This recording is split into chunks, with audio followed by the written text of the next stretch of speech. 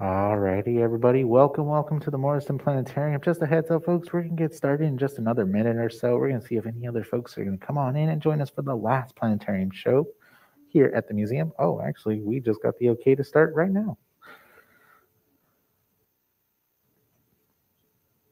Perfect. We're just going to wait for this last trivia question to come on up and finish. And just a reminder, folks, uh, these planetarium shows that we're in here right now, they normally last about 30 minutes. So just to let you know, the museum closes at five o'clock. So uh, this is this show is going to take you to the very closing of the museum. So hopefully this is where you want to be for the last 30 minutes of the day. I think it's a good place to be.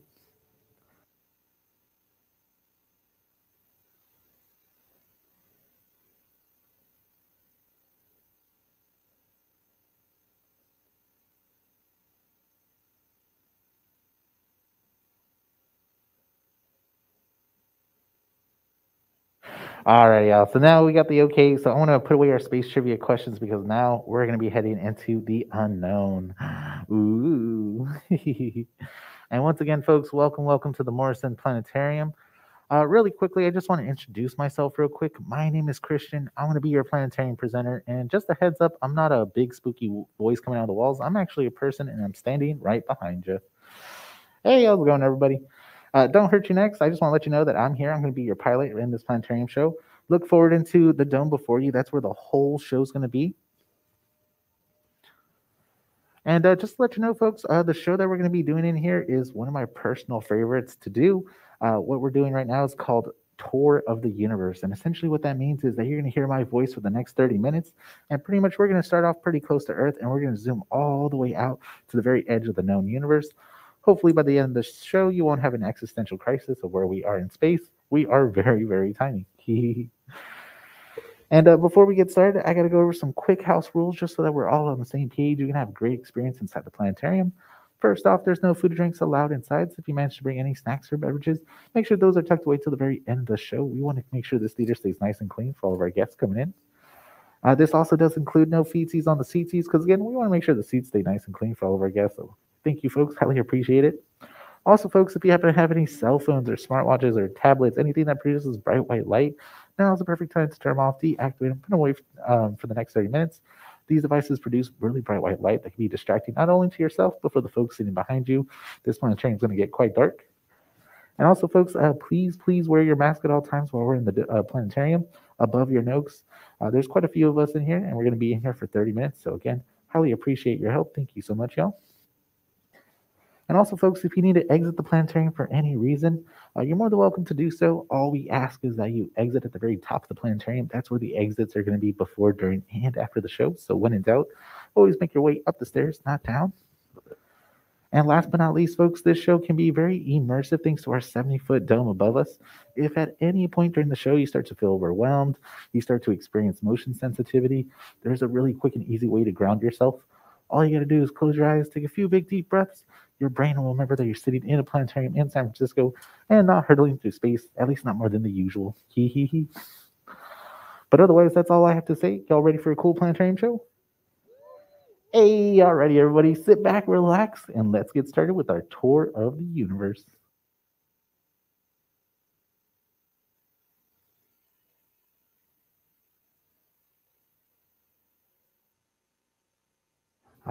Alrighty, everybody. As I mentioned, I said we're going to start off uh, with this tour pretty close to planet Earth. And we're going to be starting off right here at the International Space Station, which is right before us, or what we also like to call the ISS for short. Now, the International Space Station is one of my favorite things that we humans have ever done together. Pretty much, this is a research facility that's orbiting around planet Earth. And this is a collaboration between many nations across planet Earth to pretty much figure out what happens to things in space.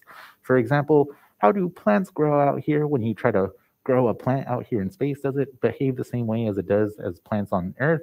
What happens when you try to drink water, or what happens when you try to ignite a flame? Does it behave the same way? What happens to humans when they live in space for long periods of time? So, these are some of the different questions that scientists want to figure out, uh, especially things that they can't replicate here on planet Earth. And just to let you know, folks, the International Space Station started, began in 1998, thanks to Russia. Uh, Russia sent up the first module, which is right at the heart of the ISS. And since then, Uh, many nations have pretty much added different uh, modules to it, so it's been getting bigger over the years. But what's really amazing about the International Space Station is that this thing is going incredibly fast around our planet Earth. It it travels once around our Earth every 90 minutes, where it experiences 16 sunrises and 16 sunsets a day, going a whopping 17,000 miles per hour. Woo! And not only that, it's not too far away from planet Earth. Looks really far away um, since we're at this perspective. But the International Space Station is only about 225 miles above the surface of the Earth. 225 miles, that's like going from San Francisco to Santa Barbara, a nice little road trip with the family for the weekend. And just to let you know, folks, the International Space Station is the biggest thing we humans have ever put into orbit around our planet Earth. And it's about the size of a football field. But again, it keeps getting bigger every year because they keep adding new compartments to it. And it fits about six to eight astronauts at a given time, uh, living in these small modules that we see right at the heart of the International Space Station. So just right over here. And just to let you know, folks, the International Space Station is as far as we put humans into space nowadays because traveling out into space gets quite expensive quite uh, rapidly. First, you got to get your hands on a rocket ship or build yourself a rocket ship. And then, not only that, you have to get your hands on a whole bunch of rocket fuel and more rocket fuel to get that rocket fuel off the planet and that spaceship.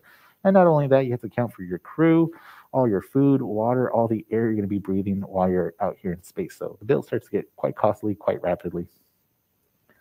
But let's leave the International Space Station behind because this is just our first stop in the tour.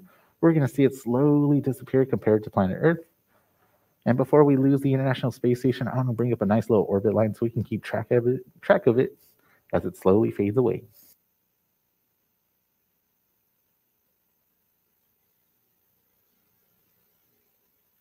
And just to let you know, folks, uh, the software that we're using right now for this planetarium show is something that you can technically go home and download if you like, if you want to fly through space, just like how I am right now.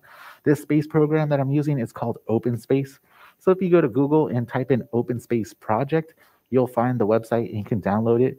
Although, just a warning, this program is in its beta phase, so it means it's not completely done. There's a few bugs and glitches. So if we do encounter any bugs or glitches, I'll point them out to you. But not only that, this program also takes up a whole lot of processing power and storage space. So if you don't have a new computer or a gaming computer, I wouldn't recommend it. Uh, this is going to make your computer go really slow because it has a whole lot of information that it needs to pull from. But if you still want to fly through space and you don't want to download anything, there's also a really cool other option, which is called NASA's Eyes. So just like your eyeballs, NASA's Eyes, if you just type that into Google, you don't have to download anything and you're still able to fly through our solar system. But let's leave planet Earth because we're going to be making our way over to our nearest natural neighbor to us in space, the moon. Now, we humans have been to the moon before, but that was quite a while ago. Uh, that was between 1969 and 1972, thanks to NASA's six Apollo missions that brought a total of 12 incredibly lucky guys to walk on the surface of the moon. They got to conduct science experiments, they got to play golf here as well. And it looks like we are almost at a new moon. So I'm going to use our special planetarium power so we can see the turn off the nighttime on the moon. And there we go. That looks familiar. And just to let you know, uh, folks, the last time we sent humans to the moon, that again, 1972, a little more than 50 years ago. But don't worry, NASA has a new space mission in the works, which is called Artemis. And it's supposed to launch uh, sometime next year. Cross my fingers, everything goes according to plan. But with Artemis, NASA is going to be sending the first woman to the moon. But not only that, they're also going to be sending the first person of color to the moon. But not only that, they're also going to be setting up a lunar base on the moon. Pretty much with Artemis, uh, we want to send humans to Mars. But before we send humans all the way to Mars, which is deep in our solar system, we humans need to figure out how we're going to live out here on another celestial body out here in space. So again, instead of sending humans all the way over to the red planet, we could use something much, much closer to home, which is our moon. But what's also really neat is that not only are we going to have uh, bases around the moon, we're also going to have like an international space station orbiting around the moon, which is going to be called Lunar Gateway. So if anything was to go wrong on the lunar base, uh, these astronauts can launch off and head to that Lunar Gateway, that international space station, so they can uh, be somewhere safe in case things go wrongly. But again, uh, look out for any news for Artemis in the coming years. Cross my fingers. Hopefully, everything goes according to plan. And not only that, folks, uh, when we look up the moon here up on planet Earth, it looks incredibly close to us. It almost feels like sometimes you can reach up your arms and touch the moon. But the moon is incredibly far away from us here on planet Earth. It's about 240,000 miles away from the Earth. That's a quarter of a million miles. Some of you folks may own a car with that many miles on it, and if you take better care of your car than I do, you can even imagine driving to the moon if you drove for four months nonstop. Although I couldn't recommend it, the roads out here are poorly maintained. Hee hee hee. And uh, from here on now, folks, we're going to need to use a more useful measuring stick because at this scale, using miles is kind of like using inches to describe the distances between cities. So astronomers use a more convenient measurement known as light speed. Light travels at a mind boggling speed of 187,000 miles per second. That's about 300,000 kilometers per second. So while it took the astronauts more than three days to reach the moon, traveling faster and farther than any human has done so ever since, it only takes light one and a half seconds to cross that distance at the speed of light. That's kind of like a short pause in conversation. But for now, let's leave the moon behind. So everybody say bye bye, moon. We'll see you later. And now, folks, we're going to be taking a leap into a much greater realm of our solar system because now we're going to watch the moon and the Earth and their orbits as they slowly recede. In fact, let's add our orbits of our planets so we can see where they are out here in space. And on our journey, folks, we're going to be traveling much faster than the speed of light. We're going to be traveling at the speed of the human imagination, thanks to the help of computer models showing us the most accurate images and information available to us. For example, open space. And now our nearest star, the sun, comes into view.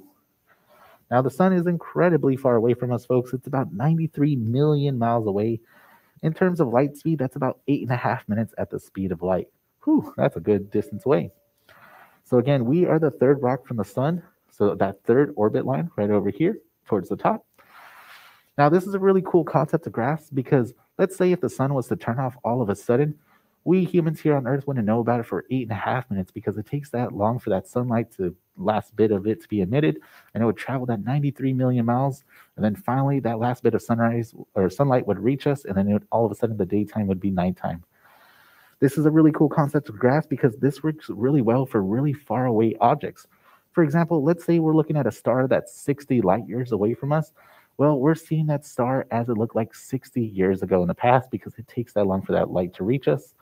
So when we're looking at really far away objects in space, it's kind of like looking back in time in a sense. Pretty cool. But now we're looking at a nice bird's eye perspective of our solar system. So let's name the objects really quickly. So of course, right in the middle, we have our star, the sun. The closest planet to the sun is going to be Mercury. Then we have Venus, Earth, and Mars. These are the rocky terrestrial planets. These are places we can actually land a spacecraft on if we like. And then beyond the orbit of Mars, we have this really cool thing called the main asteroid belt. And this is what it would look like if we were to highlight all those asteroids in our asteroid belt. There we go. and then beyond the asteroid belt, folks, uh, we have the really big planets, the gas giants, the Jovians. We have Jupiter and Saturn. And then beyond them, we have the icy giants. Uh, we have Uranus, the funny one, and Neptune. And of course, of course, we can always add everybody's lovable and favorite dwarf planet, Pluto. So here's the orbit of Pluto. And just to let you know, folks, Pluto is no longer considered a planet as the year 2006. A lot of people tend to ask me, hey, Christian, why did Pluto get kicked out of the Planet Club? I love that planet. I learned about it in school. Uh, Viva la Pluto. Well, you see, folks, in 2006, we scientists uh, got really well at studying about the outer parts of our solar system, specifically the orbit beyond uh, Neptune in a region called the Kuiper Belts. You're probably wondering to yourself, what's the Kuiper Belt? I've never heard of that. Well, the Kuiper Belt's going to be all this stuff. So we found more than 400 objects out here in the Kuiper Belt region, and we couldn't call all this stuff planets. There was just way too many of them. So all the scientists across planet Earth came together, had a great big meeting. They had to figure out what exactly you need to be to be considered a planet. And one of the criteria to be a planet is that you need to be so big and so massive that you push all the other objects out of your orbital path. Unfortunately for Pluto, it doesn't pass that criteria because it's not that big and it kind of gets pushed around. And not only that, it orbits its moon. So again, not the biggest object in its orbital path. So this is why Pluto is now considered a dwarf planet and not a planet. But don't worry, Pluto's not the only dwarf planet out here. We've got quite a few of them. We've got Makemake, Haumea, just to name a few. And not only that, we also have Ceres, which is in the main asteroid belt closer to us. But I'm going to put away the Kuiper Belt because that's just a whole lot to look at. And now I'm going to be adding some of the spacecrafts that we sent out in the 1970s to explore our solar system, how we got to learn about it. And now here comes the trajectories of those spacecrafts. There they are. So the tra trajectories that we have here, uh, we have Pioneer 10, Pioneer 11, Voyager 1, and Voyager 2, and the latest of them all, uh, New Horizons. Now, all of these objects are traveling fast, uh, are the fastest traveling human-made objects. They're all traveling fast enough to escape the sun's gravity and leave our solar system behind. But what's really cool is that the latest of them, New Horizons, did a quick flyby of Pluto in 2005, which we can see uh, that intersection just right over here. So that's New Horizons leaving our solar system. That faint blue line, of course, that is Pluto. And thanks to that mission, we were able to get some amazing high definition images of Pluto because in the past, our images of Pluto were pretty much pixelated little blue dots. But New Horizons just did a quick flyby, continued on its path. So we don't have a complete model of Pluto. We just have like 75% of it, but still really good stuff. But let's leave our solar system behind, folks, because we still have a ways to go to the very edge of our known universe. And now we're going to be leaving the planetary scale far behind because now we're going to be heading into interstellar space, the space between the stars. Distance now becomes so immense, it's going to take us over four years at the speed of light just to reach the next star system to us, the Alpha Centauri system. And if my calculations are correct, right in the middle is our solar system. So the nearest star system to us is Alpha Centauri, which is over here, four years at the speed of light on the bottom left. Now, if you were to get in a rocket ship of today, and you wanted to travel to the nearest star system, well, that's going to take you about 8,000 years. Whew, that is a very, very far distance and long road trip. But, folks, we're going to stop and consider whether humanity has made its presence known beyond our solar system because now we're going to be heading inside something called the radiosphere. Now, the radiosphere represents the current limits of the most distant radio uh, signals humanity has ever broadcasted, or rather leaked into space, and it extends about 90 light years, emitting in all directions out from the Earth. Now, this first began in the early 1930s with strong radio waves, early television, and radar signal, and then the late, uh, the detonation of atomic weapons. All these things are emitting electromagnetic radiation strong enough to escape the Earth's ionosphere. Now, humans were broadcasting well before that, but the earliest radio was not quite powerful enough to escape the Earth. Since all these signals are electromagnetic, they travel at the speed of light, so this is kind of like humanity's electromagnetic footprint in the universe. And of course, the radiosphere is always expanding at the rate of one light year per year. So, is anybody out there listening? And folks, I'm going to be adding up um, these markers onto our screen. These markers represent some of the many thousands of stars astronomers have discovered over the last 22 years, which has at least one or more planet orbiting around them. We call these planets exoplanets, and we're looking for any of them that are Earth like with conditions suitable for life as we know it. Our, so far to date, we found more than 4,000 exoplanets in the nearby vicinity to us, and that number is going to be increasing in the near future because we have new space-based telescopes where their whole sole purpose is to find as many exoplanets as possible. So that 4,000 is going to be increasing um, as the days continue. But to figure out if any of these exoplanets have life as we know it, or conditions for life as we know it, well, our technology is not yet able to answer that question, but new generations of astronomical instruments are devoted for that search. The important point here is that quite a few of these planetary systems are within that 90 light year limit of our radiosphere and could have potentially received our signals. However, since radio waves travel at the speed of light, if there is anybody out there that's able to listen in and answer back, the communication delays between hellos could be decades in time. To give you an example, let's say we live in a star system on the far left of our radiosphere, we find an alien civilization towards the middle, let's say 60 light years away from us. We shoot them a text message, hi. They listen in, answer back.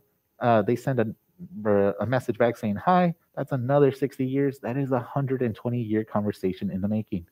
Whew. And I can barely wait for a text message from my friend. but of course, folks, uh, planetary systems beyond our radiosphere uh, more than 90 light years away, have not heard from us yet, but eventually they will, as the radiosphere is always growing, but it becomes weaker as it does.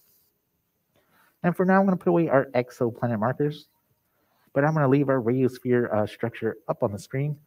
As huge as our electromagnetic footprint is, it is nothing compared to the Milky Way galaxy. So let's zoom all the way out and take a look at our Milky Way galaxy from above.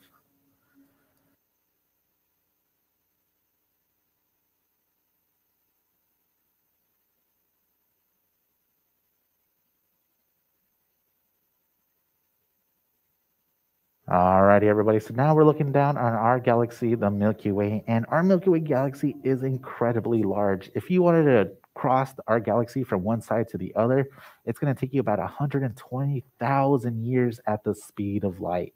Whew, that is enormous.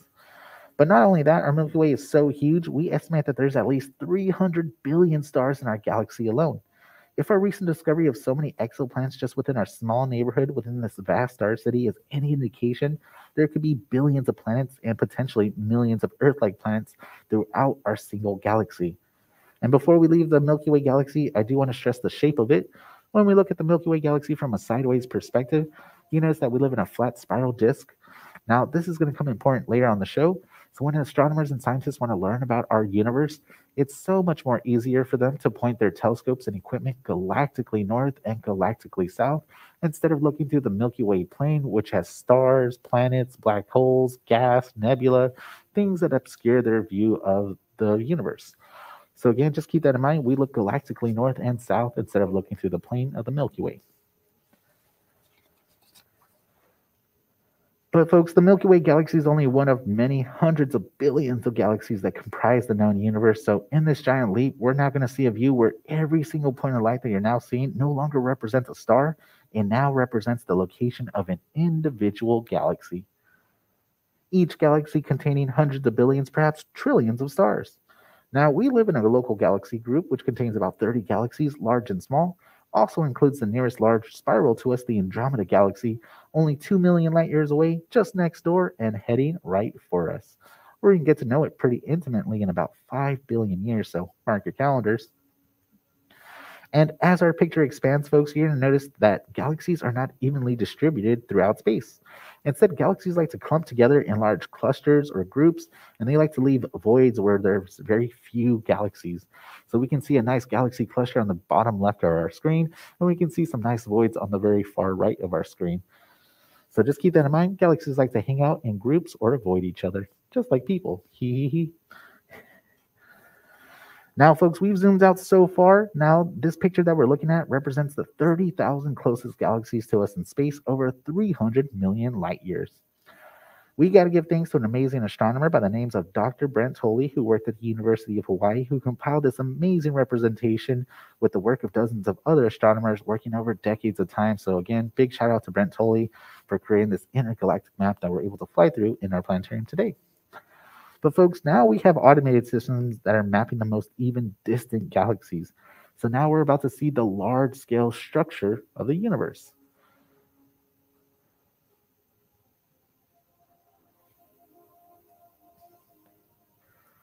And remember, folks, every single point of light that you're seeing is not a star, it's an individual galaxy containing hundreds of billions, even trillions of stars.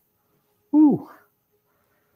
And let's fly through all these galaxy clusters, and now we can see the large scale structure of our universe. Just a heads up, folks, the universe is not shaped like a bow tie or a butterfly. The reason why we have this dark gap right in the middle is again because if we were to line up our Milky Way galaxy, the Milky Way plane would line up directly in the middle, vertically like so. So again, astronomers look, point their telescopes and equipment galactically north or galactically south. But scientists still want to make sure that there was galaxies through the plane of our Milky Way. So we have this nice purple galaxy survey right over here in the middle. You're going to notice that these galaxies are much more closer to where we are and not as far out. Hopefully, in the future, our technology will improve and we'll be able to look through our plane of our Milky Way and we'll be able to map all these galaxies through the plane of our Milky Way. So these dark gaps will be eventually filled in. It's only a matter of time. But it looks like we're running low on time, folks, so let's continue pressing on to the very edge of the known universe. And now, folks, we're going to be uh, heading out so far back that now we're going to be looking at the brilliant cores, the central nuclei of very young, very distant galaxies known as the quasars. Now, the quasars are going to be on the very far edges of our large scale structure. So these are the quasars all in orange. And the quasars are short for quasi stellar radio sources. These blazing objects are all billions of light years away. So now we're looking so far back in the depth of time and space that the most distant quasars represent the universe at a much earlier age. We are nearing the very beginning of galaxy formation. In other words, with the quasars, we're viewing a sort of awkward, gawky teenage version of the universe. And before there was a teenager, there was a baby. So now let's head. Uh, we're going to press back even much further uh, to a time before planets, stars, and even galaxies began to form. Folks, we are about to arrive to the very edge of the known universe.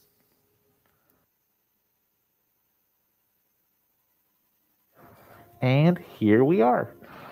So what we're looking at, folks, is something called the cosmic microwave background image, or the CMB image for short.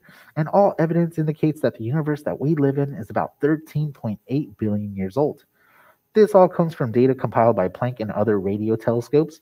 And this picture that we're looking at is a very baby uh, version of the universe, only 380,000 years after the Big Bang occurred, where space and time began. And what we're looking at is not a typical photo, photo either. Instead, we're looking at a temperature density image where the light echoes of the Big Bang are color coded, where the lighter areas correspond to the hottest, least dense regions, and the darker areas, the coolest, densest regions. These fluctuations in temperature and density are extremely, extremely tiny. They vary no more than one part per 100,000. But eventually, they gave rise to a large scale structure of the universe that we saw moments ago that clumping and clustering of galaxies everywhere. Figuring out just how this happened is one of the larger challenges for cosmological research today. Though our view here is of the outer edge of the known universe, the earliest light visible to us, that radiation actually persists all around us. It permeates the universe, stretching and cooling as the universe expands over billions of years of time. But, folks, we've gone back as far as the law of physics can physically allow us, so we only have one direction left to go back home. So let's find a nice uh, cluster of galaxies to fly through as we make our re-entry back to planet Earth. We have some nice clusters here. There we go. That's a good spot. And before we make our return trip back to planet Earth, folks, I've got to ask y'all to prepare yourself because this could possibly be the worst free falling dream ever. Hee hee hee. But let's make our way back to planet Earth.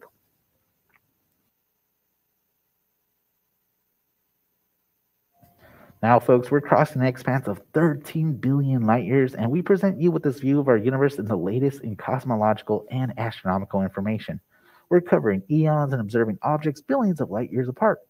Now, we live in a golden age of astronomy with new generations of telescopes and spacecrafts that are extending the reaches of our eyes, preparing for the eventual race between the advancement of technology and the accelerating expansion of the universe. With that thought, I'll remind you all that astronomy is for everyone you don't need to be a rocket scientist to enjoy the beauties and wonders of our universe. All you need is the night sky, and if you can, get away from the lights of our cities and look up. Even a good pair of binoculars makes for a decent first telescope, and there's astronomy clubs all around the world that invite people just like you to look through their telescopes and peer into the great beyond, allowing you to partake in the wonders that our universe has to offer. Now, astronomy as a hobby can offer an endless supply of satisfaction, and I do hope you'll join us, those who dream amongst the stars. But it looks like we are making our way back into our Milky Way disk and we're heading straight for that radiosphere.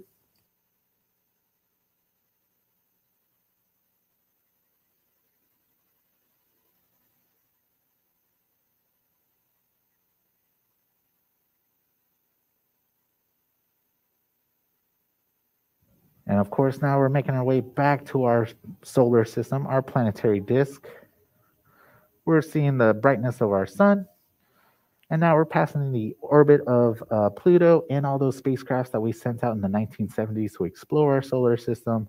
We're flying past that asteroid belt right to the third rock from the sun. And folks, as we approach Earth, our final destination, I want to thank y'all for stopping by and watching Tour of the Universe with us today. I hope you did enjoy it. But remember, um, as we're returning back to planet Earth, Earth is the only place we humans have ever lived. So just remember to take care of it. Um, but otherwise, that's all we have for you today, folks. And again, thank you for stopping by. I hope you had a good time.